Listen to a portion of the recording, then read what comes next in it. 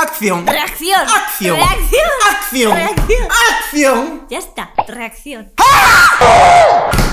Acción, reacción. ¡Hola!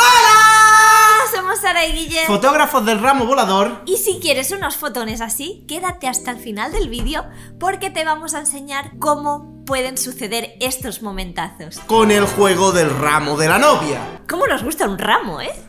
Volador. y flores.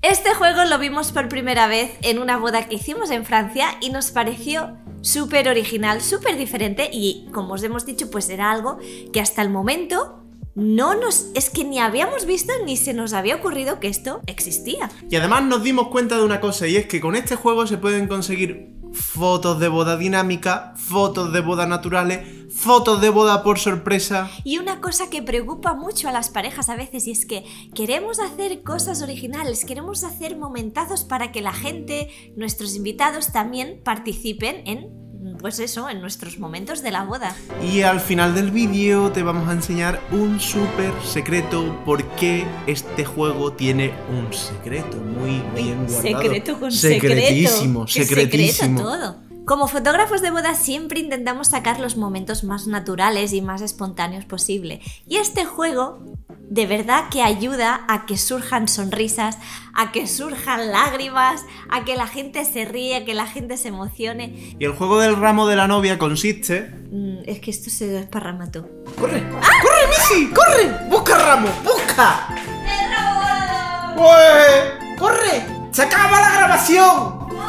¡Se está acabando! ¡Suscríbete! Perdón por este asesinato que hemos hecho de ramo. Regalar el ramo de la novia al final más o menos de la boda es algo que hemos visto y es muy común en las bodas en las que hemos asistido. ¿Y a quién se suele regalar el ramo? Pues se suele regalar a la madre, a la mejor amiga o a algún familiar o una amistad muy especial. O directamente se coge el ramo y se lanza. Bueno, y de bueno. aquí viene el ramo volador. Existen muchas formas de regalar un ramo, de entregar un ramo. El juego del ramo de la novia consiste en amarrar un montón de lazos como este, de un tamaño de 5 o 6 metros en la base del ramo y repartir uno a uno a cada una de las personas que quieran participar en conseguir el ramo.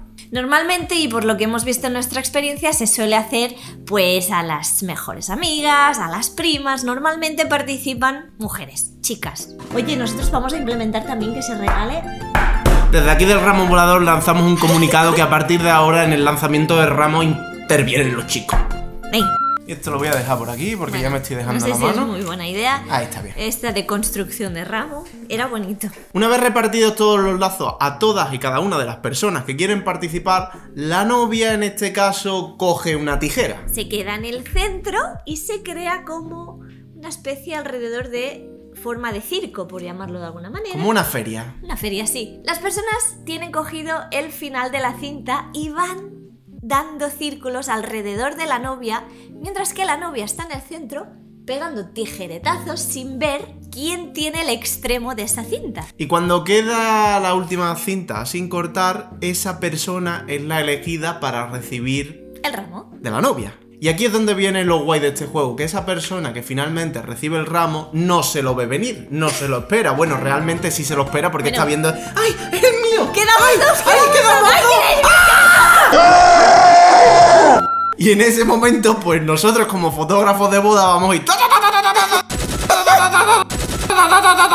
¡Suscríbete! ¡Ay!